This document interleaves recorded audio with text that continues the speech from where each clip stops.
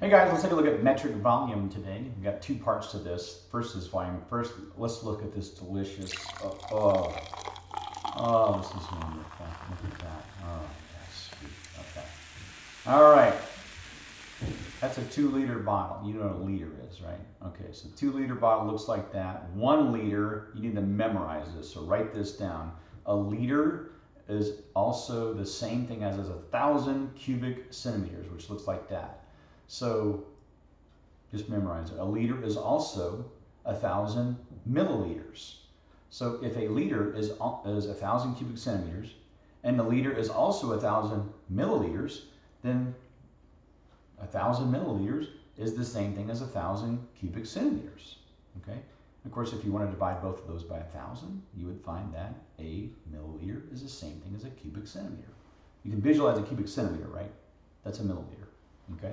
So we're going to use that to solve some uh, those rate conversion problems. So let's try one of those right now. But this is the key. Make sure you understand a milliliter is the same thing as a cubic centimeter, and a liter has, you know, a thousand milliliters. Okay, or a thousand cubic centimeters. Either one of those is equal. Okay, let's do an easy one first. We're going to convert 14,000 milliliters to liters. So we know the step is the first thing you do is just write what you're given. 14,000 milliliters, okay? We're gonna write a fraction next, and we know it's gonna have a milliliter on the bottom, right? Okay, and the conversion is, there are a thousand milliliters go to one liter. So we can cross out the milliliters now, and we just multiply across like a normal fraction. Of course, if you want to do, you can do the division in your head if you want. 14,000 divided by 1,000 is just 14, and the only uh, term, the only uh, unit of measure is the liter left, so there's your answer. Okay, let's do one that's slightly more involved. All right, and copy this down. If you want to do this, you can just say, you can if you want to write this problem down like this, a, a much shorter version, just go like this. Do four cubic feet. In other words, it'd be like this. Convert that to liters. That's probably an easier way for you to do that. Okay. Well, again, same old first step. Write what you're given. Four cubic feet. So we got four cubic feet. Okay. Since there is a foot times a foot times a foot, we know we're going to have to have three fractions, right? Okay. Foot, foot, and a foot. Okay, we know we're going to have to have three instances of feet at the bottom. We are going to liters. Can you, can you visualize a cubic foot? Okay, there's a cubic foot. Four of those, convert those to liters. So one foot is 12 inches, of course. One foot is 12 inches and one foot is 12 inches. Okay, so now we have feet are gone and we have feet cubed, that's gone, three of those, there we go, okay?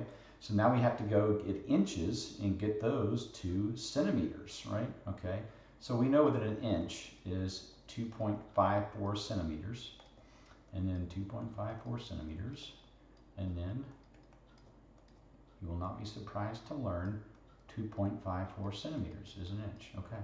So three of those, one, two, three, one, two, three, and now we have cubic centimeters. Okay, now here's where it gets interesting.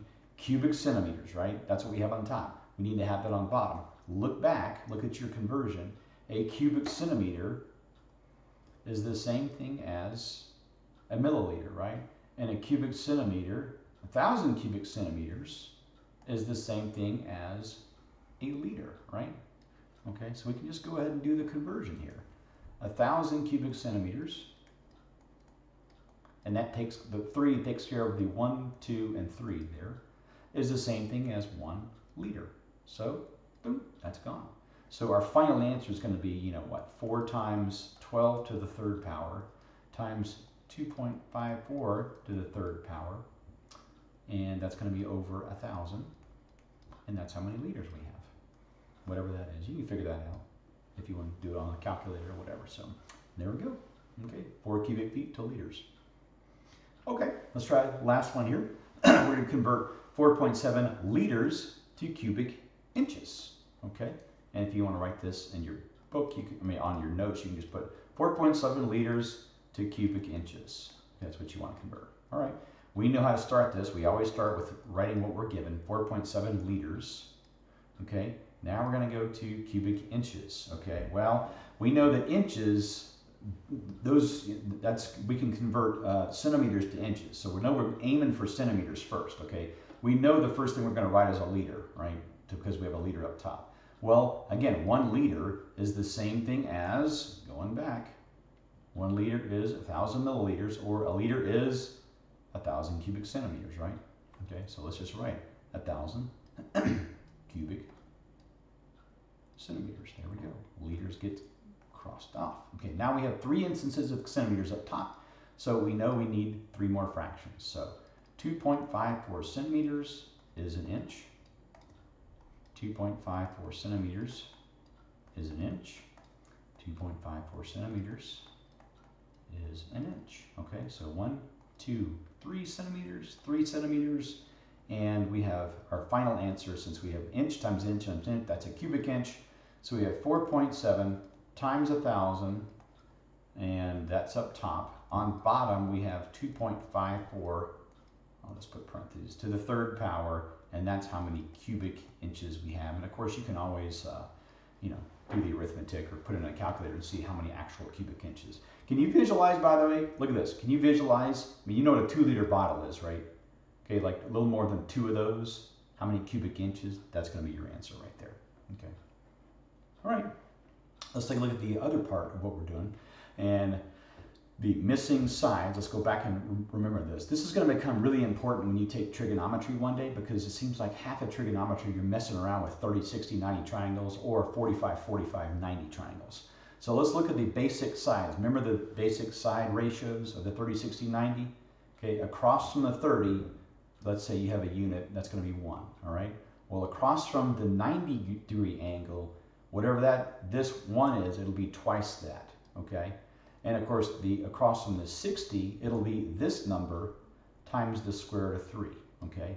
If you ever forget, if you just remember, across from the 30, there's a 1, and across from the 90, there's it's twice that. You can figure this out using the Pythagorean theorem, right? 1 squared plus something squared gives you 2 squared, okay? In other words, 1 plus something squared gives you 4, and you, you know, subtract, so, you know, something squared gives you 3, so the answer is the square root of 3 squared gives you 3. So there you go. Make sure you have that memorized, all right? Keep that. All right. This is a basic 45, 45, 90 triangle. Memorize this, that, uh, this one as well, all right? Uh, if you have a 45, 45, 90 triangle, well, don't forget this angle opens up a side length over here. We'll just call it 1. Well, if this opens up a side length here, this is also 45 degrees. Well, this is going to be the same side length here as it is here. Okay? Sometimes it might be 8 or 9.2 or 50 or something like that, okay? Whatever this number is, you can do the arithmetic if you want. Oh, 1 squared plus 1 squared equals, you know, we'll call it uh, c squared, okay, to find out what this is. So 1 squared is 1. 1 squared is 1. c squared. Okay, so let's write it like this. c squared equals 1 plus 1. Find the square root. Boom. There we go. Okay.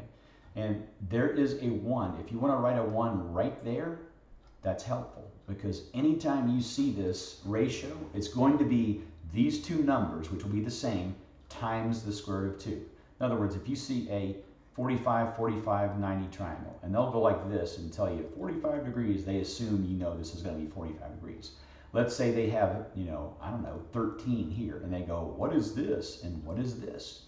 You're going to say, well, 45, 45, 90, this is also going to be 13. This will be 13 times the square root of 2.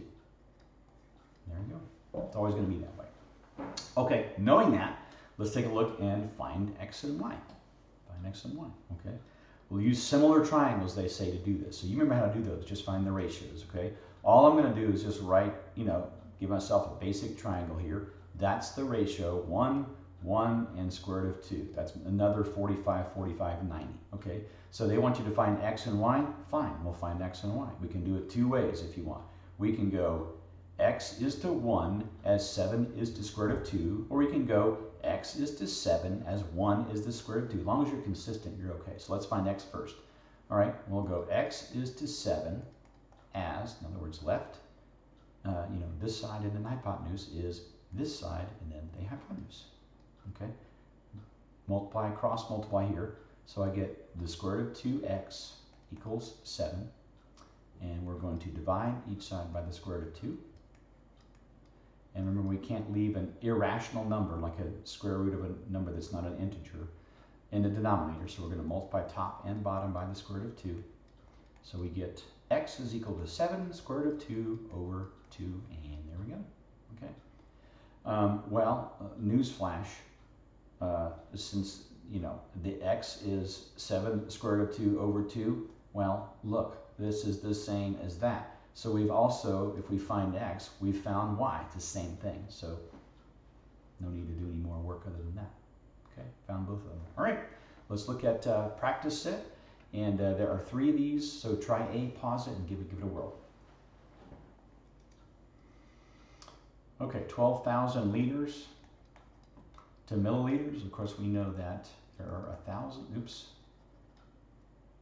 uh, one liter is the same thing as a thousand milliliters. This is a huge honking answer here, for heaven's sakes. All right, so the answer is 12,000 times 1,000. Well, we can do that in our heads if we want. 12 times 1 is 12. And three zeros here, three zeros there. And that's just going to be 12 million. That's a lot of milliliters. That's like a big drink in a 7-Eleven. Okay. All right, pause it and try B. All right, 10 cubic feet. That means we got feet here. First thing we're doing is going ahead, don't even think about it, just write feet, feet, and feet. Okay, we know we're doing inches here. Oops, that's just a one. 12 inches, 12 inches, of course, each time. Feet go away, feet, feet, feet, and this is gone. Now we have inches to piddle with, okay? So we know we're gonna mess with uh, inches and uh, we'll go inches. One inch is the same thing as 2.54 centimeters. 2.54 centimeters. My twos look terrible today. And 2.54 centimeters. Okay, so inch, inch, inch, inch, inch, inch. Those are gone. All right, now we have up top, we have a cubic centimeter. And remember, we're going liters. So remember what a liter is the same thing as? One liter is the same as how many cubic centimeters?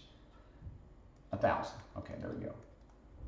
Okay, so that unit goes away, which takes away these three. Okay, so now we have 10 times 12 cubed times 2.54 cubed all over a thousand. And the unit we have left is liters. Okay, let's try C. Go ahead and pause it and try C.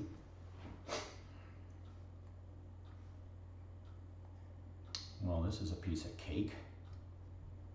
All right, we got a one, we got a one, and we got a square root of two, right? Or one square root of two. Well, I mean, you can look at this and go, you know, if this is three, then that's going to be three, right?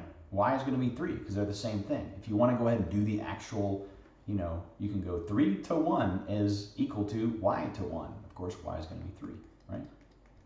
All right, so we found that.